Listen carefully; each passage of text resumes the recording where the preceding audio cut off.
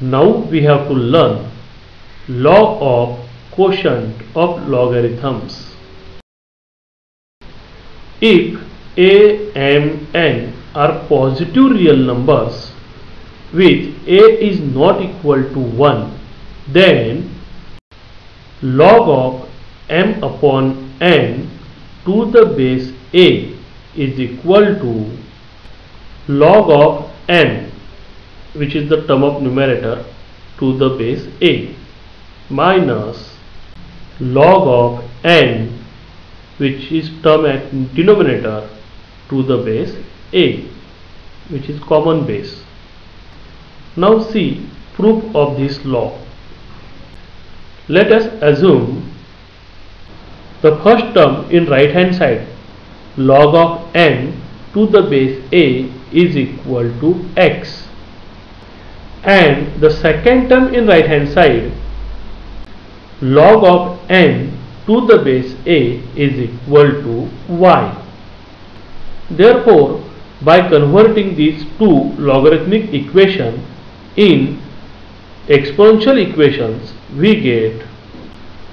a raised to x is equal to m and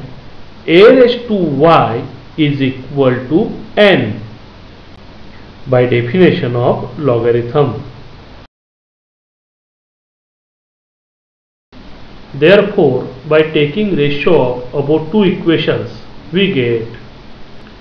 in the left hand side a raised to x upon a raised to y is equal to in right hand side m upon n by division of about two equations.